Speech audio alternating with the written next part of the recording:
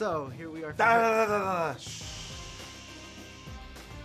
Finally, Julian is coming to interview the rock. Now you can continue. Life complete. Ah! No, no, no. Go ahead. Awesome.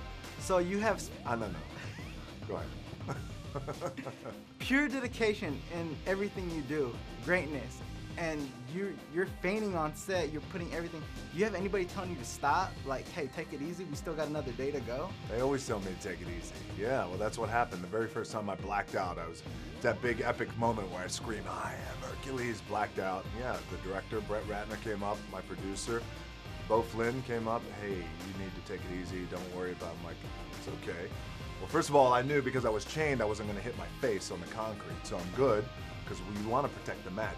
Right, You know what I'm right. saying? That's the Julie, moneymaker. right? It's the moneymaker, right? So, uh, but yeah, they tell me to stop and slow down all the time. But you can't. You can't. You, when you're when you're the Rock, Dwayne Johnson, you got it. Well, especially that, by the way. That's some shit I gotta live up to, by the way. Do you mind taking a viewer question?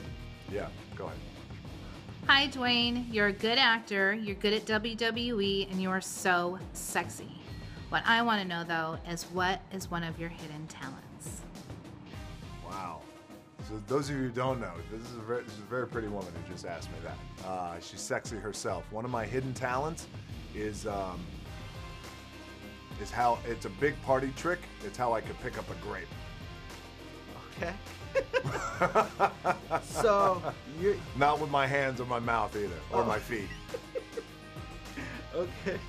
So your face is like you're, you're everywhere. Shirts, dolls, Let me see this. Let me see this. Yeah, look at this. Yep. toys. Toys, I've got the underwear on too. Is, is there something that surprises you? Like, where was your face? Like, when you're faced with someone, you're like, oh, I have that? Um,